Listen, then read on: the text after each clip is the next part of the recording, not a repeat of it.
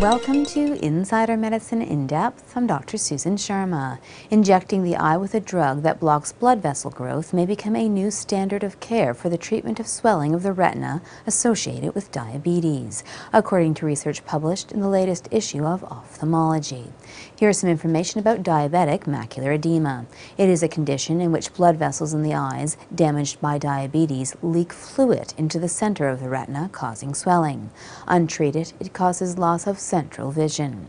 It is a leading cause of blindness among diabetic individuals. Researchers representing the Diabetic Retinopathy Clinical Research Network randomly assigned over 850 eyes affected by macular edema belonging to nearly 700 individuals with diabetes to one of four treatments. Injection with a drug that stops blood vessel growth known as Lucentis plus prompt laser treatment, Lucentis injections plus laser treatment that was deferred for six months or more, injections with corticosteroid drug that reduce swelling plus prompt laser treatment, and prompt laser treatment combined with a sham injection in which no active drug was delivered. More than 50% of the eyes that were treated with Lucentis showed improvement in vision, regardless of whether laser treatment was delivered within a week or only after six months or more. This improvement resulted in participants being able to read two or more lines on an eye chart than they could read before or being able to read letters that were one-third smaller than the smallest letters they could read before. In addition, less than 5% of eyes treated with Lucentis had substantial losses of vision. In contrast, only about 30% of eyes treated with laser alone or laser plus corticosteroid injections showed similar improvements, and 13 to 14% had substantial visual loss.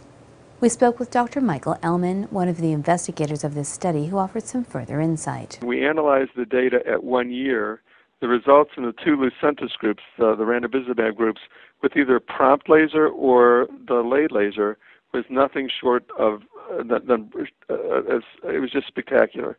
Um, I remember I presented the results to the investigators a few uh, months ago, and when they saw the slide projected in the room of the visual acuity, it was just so spectacular. You heard this gasp collectively in the room because we did not expect it would be so uh, dramatic.